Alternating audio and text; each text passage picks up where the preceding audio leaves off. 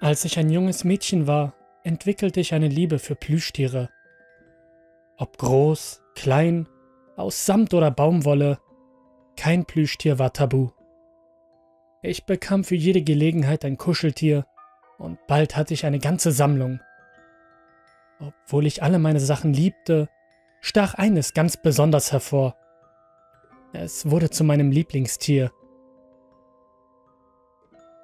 Meine Hauskatze Harvey starb, als ich zehn Jahre alt war. Ich habe ihm nie wirklich viel Aufmerksamkeit geschenkt, weil ich Plüschtiere immer den echten vorgezogen habe. Trotzdem traf mich sein Tod ziemlich hart. Ich bereute es, dass ich ihm nicht die Liebe und Aufmerksamkeit geschenkt hatte, die er verdient hatte, so sehr, dass ich fast den ganzen Tag weinte, als er starb. Zum Glück kamen die Plüschtiere zu meiner Rettung. Meine Mutter kam ein bisschen später als sonst von der Arbeit nach Hause. Wahrscheinlich folgte sie dem Geräusch des Schniefens und fand mich in meinem Zimmer. Als ich sie sah, war ich überglücklich. In ihren Händen hielt sie ein weiteres Stofftier, das zu meiner riesigen Sammlung hinzukam. Eine Katze, um genau zu sein. Sie sagte, sie hätte es in einem Laden in der Nähe ihres Büros gekauft.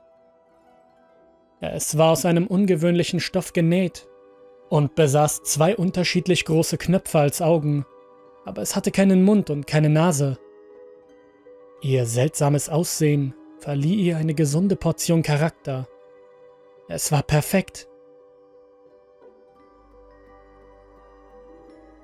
Ich nannte meinen neuen Freund Harvey nach der Katze, die ich verloren hatte. Schon nach kurzer Zeit vergaß ich den echten Harvey und verliebte mich in die Stoffkatze. Er war immer für mich da, wenn ich traurig war, Kummer hatte oder einfach einen Freund zum Spielen brauchte. Ich nahm Harvey jeden Abend mit ins Bett. Er war mein bester Freund eine Zeit lang. Nur eine Sache konnte einen Keil zwischen unsere Freundschaft treiben. Das Erwachsenensein. Ich habe bis zu meinem 23. Lebensjahr bei meinen Eltern gewohnt.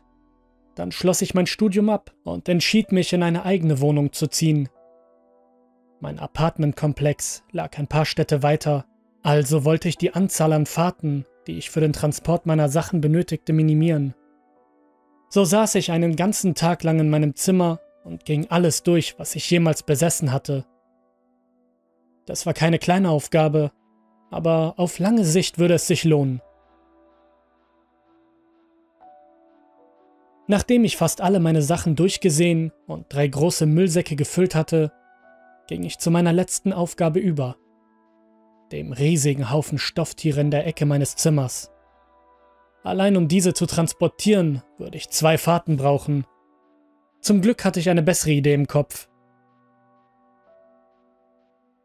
Ohne zu zögern fing ich an, jedes Stofftier, das ich sehen konnte, in Tüten zu stecken. Die Dinge, die mir früher so viel bedeuteten, würden bald auf der städtischen Müllhalde landen. Es war mir egal. Schließlich war ich eine erwachsene Frau. Ich hatte gerade das College abgeschlossen, einen anständigen Job bekommen und war dabei, alleine auszuziehen. Plüsch hatte keinen Platz mehr in meinem Leben. Nachdem ich ein paar große Müllsäcke gefüllt hatte, stieß ich auf ein Kuscheltier, das mich innehalten ließ. Ganz unten auf dem Haufen lag Harvey. Ich hatte ihn ganz vergessen. Der gute alte Harvey. Mein bester Freund und Beschützer. Er verjagte meine Albträume und vertrieb meine Traurigkeit, egal wie ich mich fühlte oder was der Grund dafür war. Ein warmes Lächeln tanzte über mein Gesicht, als ich mich an all die schönen Zeiten erinnerte, die ich mit ihm verbracht hatte.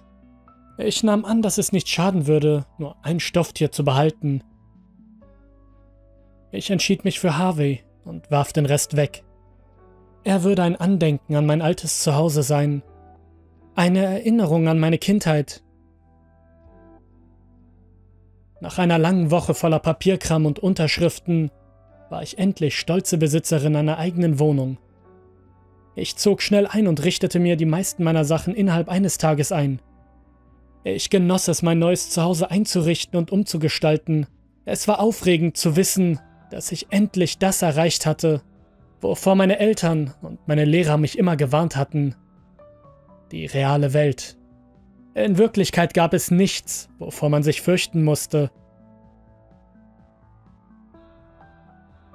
Man müsste nur wissen, wie man alleine zurechtkommt und mit den Schwierigkeiten fertig wird, die manchmal auf einen zukommen. So weit, so gut, dachte ich. Bei Einbruch der Dunkelheit hatte ich alles ausgepackt, was ich besaß. Nachdem das erledigt war, beschloss ich mich auf meine neue Couch zu legen und ein Nickerchen zu machen. Ich war erschöpft. Zu meinem Unglück hörte ich, als ich die Augen schloss, einen lauten Knall von der anderen Seite der Küche. Ich sprang abrupt auf und fragte mich, ob jemand an meinem ersten Tag in meiner neuen Wohnung eingebrochen war. Langsam schlich ich hinüber, um den Eindringling nicht auf mich aufmerksam zu machen. Mit jedem Schritt, den ich machte, bildete sich ein neuer Knoten in meinem Bauch.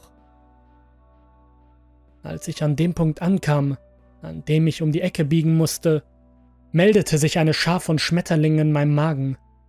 Jeder einzelne flatterte in einem ekelerregenden Tempo. Ich wusste, was ich tun musste, um die Panik zu unterdrücken. Ich sprang um die Ecke, bereit, jeden möglichen Angreifer abzuwehren. Ich fand nichts dergleichen. Dort auf dem Küchenboden lag nur eine Kiste. Ein paar Meter davon entfernt stand Harvey. Eine Welle der Erleichterung überkam mich. Ich hatte ihn in einem der Kartons gelassen. Sie war umgefallen und hatte das laute Geräusch verursacht. Mehr war es nicht. Gott sei Dank. Ich hob Harvey auf und legte ihn in die Kiste.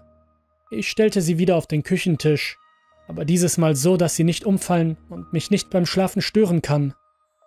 Dann machte ich mich auf den Weg zu meinem neuen Bett, legte mich hinein und schlief fast augenblicklich wieder ein. Während ich mich ausruhte, träumte ich. In meinem Traum war ich ein kleines Kind. Ich war auf einer Geburtstagsfeier von einem meiner Freunde auf einem Rummelplatz mitten in einer Waldlichtung. Mein Traum, ich konnte sich keinen Reim darauf machen, wie ich dorthin gekommen war, aber ich genoss die Feierlichkeiten in vollen Zügen. Abgesehen von der Örtlichkeit gab es in diesem Traum eine eklatante Absurdität. Harvey war da. Nicht die Plüschkatze wohlgemerkt, die echte. Er war gesund und munter und wollte nicht von meiner Seite weichen. Als ich mir Zuckerwatte holen wollte, war er auch da. Ich ging zu einem Zauberer und er war da. Ich bin sogar mit einem Riesenrad gefahren und Harvey kam zu mir hoch. Es war wirklich schön, ihn wieder lebendig zu sehen. Jedenfalls am Anfang.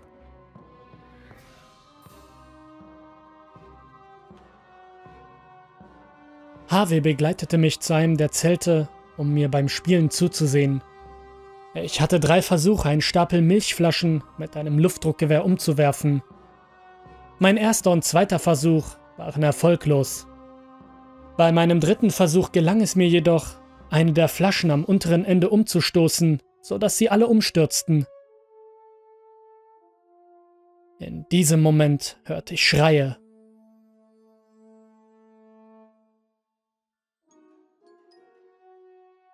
Ich drehte mich um, um zu sehen, was der Grund für die Aufregung war.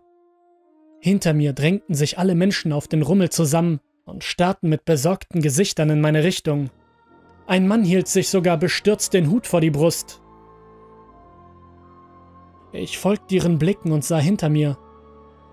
In diesem Moment wurde mein Traum zu einem Albtraum. Ich sah Harvey. Er lag in einer Blutlache, wo die Flaschen gestanden hatten. Mein Herz raste, während mir die Tränen über die Wange liefen. Er, er ist tot.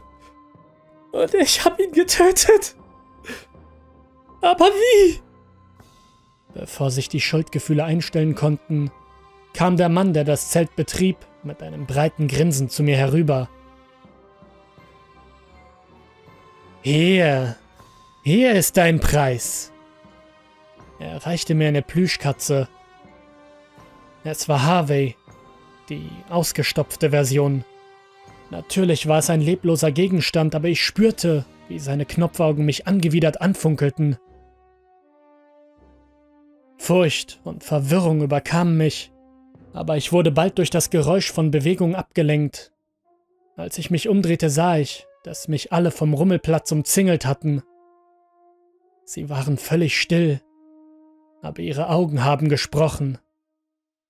Mir wurde ein unversöhnlicher kollektiver Blick zugeworfen, den ich nie vergessen werde.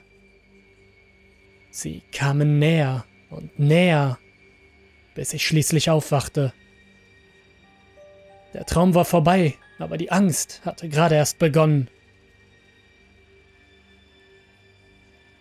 Als ich erwachte, hörte ich ein weiteres Geräusch aus der Küche. Ich sprang aus dem Bett und rannte so schnell ich konnte dahin, denn ich wollte mich nicht wieder der Nervosität einer langsamen Annäherung hingeben. Was ich vorfand, was ich vorfand, als ich ankam, war seltsam. Schränke standen offen, Dinge waren auf den Boden gefallen und die Kiste, die ich auf den Tisch abgestellt hatte, stand auf dem Kopf. Aber es war niemand da.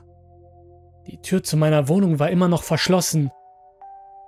Da ich mir die Unordnung in meiner Küche nicht erklären konnte, lief ich zurück in mein Schlafzimmer. Um sicher zu gehen, schloss ich mich ein. Nachdem ich mich vergewissert hatte, dass die Tür gesichert war, ging ich zu meinem Bett in der Hoffnung, mich etwas hinlegen und meine Gedanken sammeln zu können. In diesem Moment erstarrte mir das Blut zu Eis. In der Mitte des Bettes ruhte eine Plüschkatze. Es war Harvey. Wurde ich bestraft, weil ich als Kind meine Katze vernachlässigt hatte? Oder dafür, dass ich meine Plüschtiersammlung weggeworfen hatte? Wollte Harvey wirklich so sehr meine Aufmerksamkeit? Nein, natürlich nicht. So etwas kann nicht passieren. Ich ging zum Bett hinüber und hob Harvey auf. Ich sah ihn lächelnd an und erinnerte mich an die schönen Erinnerungen, die wir gemeinsam hatten. Er war immer für mich da gewesen, egal was passiert war. Selbst wenn er irgendwie zum Leben erwacht wäre, würde er mir auf keinen Fall etwas antun. Als ich Harvey wieder auf dem Bett absetzte, bemerkte ich ein kühles Gefühl an meinen Fingern. Es war feucht.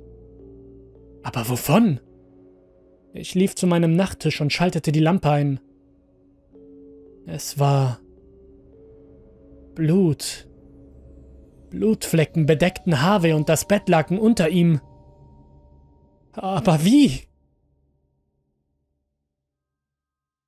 Während ich grübelte und meinen eigenen Verstand in Frage stellte, ließ mein Adrenalinspiegel nach und ich spürte ein leichtes Stechen in meinem Rücken. Der Schmerz wurde von Minute zu Minute intensiver. Ich ging zu meinem Spiegel und hob mein Hemd hoch. Was ich sah, spottete jeder Vernunft. Es. Es waren Kratzspuren.